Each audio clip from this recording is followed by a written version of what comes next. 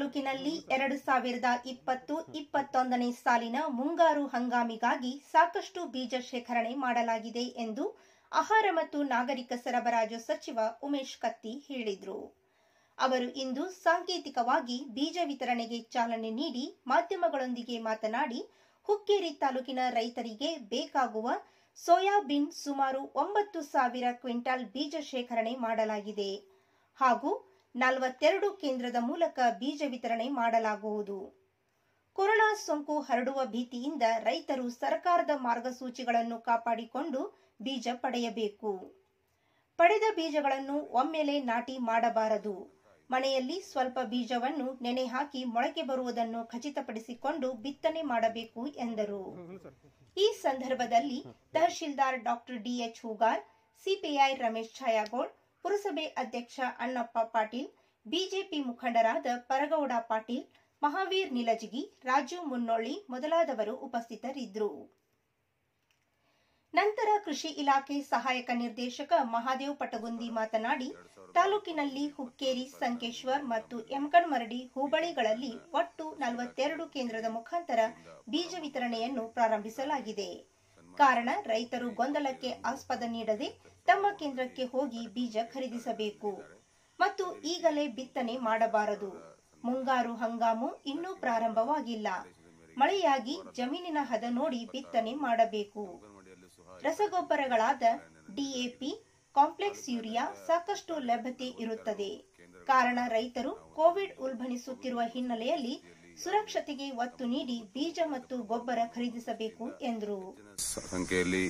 ವಿತರಣಾ ಕೇಂದ್ರಗಳನ್ನು ತೆರೆದು ನಾವು ಬೀಜವನ್ನು ವಿತರಣೆ ಮಾಡ್ತಾ ಇದ್ದೀವಿ.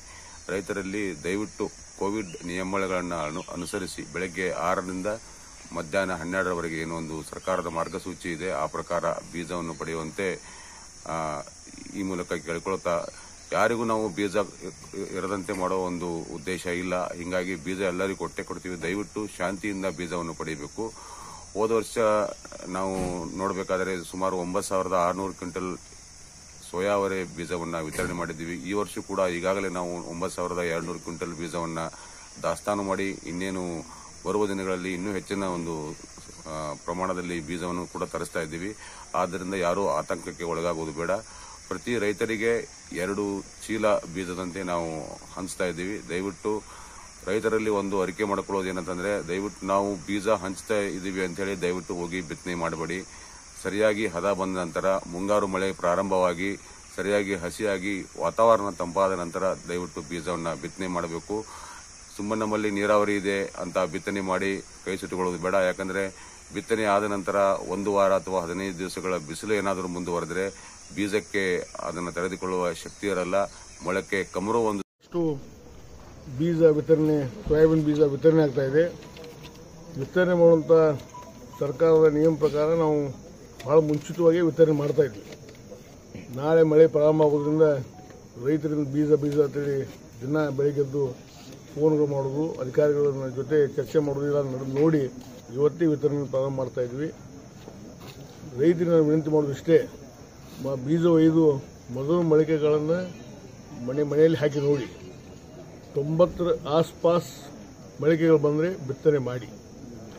ಮತ್ತು ನಾಳೆ ಬಿತ್ತಿದ ಮೇಲೆ ಮಳೆ ಆಗಲಿಲ್ಲ ಸರಿಯಾಗಿ ಬಿತ್ತನೆ ಮಾಡಲಿಲ್ಲ ಬೀಜ ಸುಮಾರಿದೆ ಈ ರೀತಿ ಕೂಗನ್ನು ಹೋದ ವರ್ಷವೂ ಇದೇ ಕೂಗಿತ್ತು ಈ ವರ್ಷ ಇದಕ್ಕೂ ಪ್ರಾರಂಭ ಹೇಳಿ ರೈತರಲ್ಲಿ ವಿನಂತಿ ಮಾಡ್ತಾ ಇದ್ದೀನಿ ಇವು ನಲವತ್ತ್ಮೂರು ನಲವತ್ತೆರಡು ಕೇಂದ್ರಗಳಲ್ಲಿ ವಿತರಣೆ ಮಾಡ್ತದೆ ಆ ಸೊಸೈಟಿಗಳಲ್ಲಿ ಮತ್ತು ರೈತ ಸಂಪರ್ಕ ಕೇಂದ್ರಗಳಲ್ಲಿ ಈ ರೀತಿ ತಾಲೂಕಿನಾದ್ಯಂತ ಬೀಜ ವಿತರಣೆ ಕಾರ್ಯಕ್ರಮ ಹಮ್ಮಿಕೊಳ್ಳ ಇದೆ ಮತ್ತು ಜನ ಮಳೆ ಆದಮೇಲೆ ಹೋಗಕ್ಕೆ ಹೋಗ್ಬೇಡ್ರಿ. ಮಳೆ ಮುಂಚೆ ಲೈನ್ ಹಚ್ಚಬೇಡ್ರಿ ಡಿಸ್ಟೆನ್ಸ್ ಮೇಂಟೈನ್ ಮಾಡಿರಿ, ಕರೋನಾದಿಂದ ದೂರ ಇರೋಣ. ಎಲ್ಲರೂ ಇದಕ್ಕೆ ಸಹಕಾರ ಮಾಡಂತೆ ರೈ- ತಾಲೂಕಿನ ರೈತರೆಲ್ಲ ವಿನಂತಿ ಮಾಡಿ.